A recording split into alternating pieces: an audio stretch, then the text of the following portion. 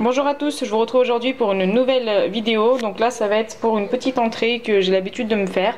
Donc euh, c'est assez euh, léger et euh, parfois je mange même ça le soir parce que je mange très léger en temps normal, en dehors du ramadan. Donc pour cela vous avez besoin d'un yaourt nature.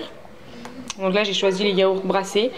vous allez avoir besoin d'une petite quantité de concombre, des graines de chia, donc là j'utilise celles de chez euh, Monoprix, elles sont bio.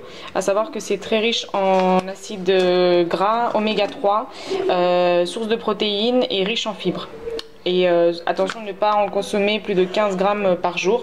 C'est vrai que quand le matin je les utilise pas, je les utilise le soir et vice versa. Une petite pincée de sel, une petite pincée de poivre. Donc là voilà, je viens d'ajouter le yaourt et donc le concombre coupé en petits morceaux. Alors pourquoi le concombre? Parce que du coup euh, bah, c'est zéro calorie et euh, donc euh, c'est très léger pour le soir. Donc là je vais ajouter la petite pincée de poivre et de sel.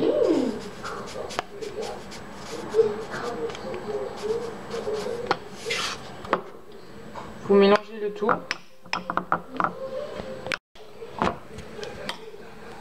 Voilà, donc à ce stade-là, vous pouvez vérifier, euh, donc tester euh, s'il y a assez de sel euh, et poivre. Sinon, vous pouvez en rajouter, mais légèrement. Là, je viens ajouter une petite cuillère à café, l'environ, donc de graines de chia. Vous mélangez le tout et donc vous allez laisser reposer pendant un petit moment, le temps qu'en fait ça prenne effet.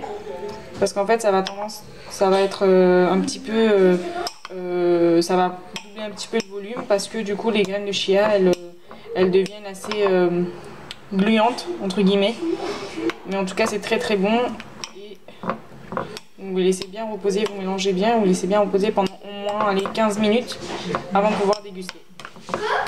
Alors pour ceux qui suivent un régime ou euh, qui font un rééquilibrage alimentaire, donc ça peut être très, euh, pratique et très utile. Vous pouvez intégrer donc, cette petite recette à votre quotidien. Voilà, j'espère que cette vidéo vous aura plu. N'hésitez pas à liker, commenter partager. N'oubliez pas de vous abonner si ce n'est toujours pas fait. Et je vous dis à très bientôt pour une nouvelle recette.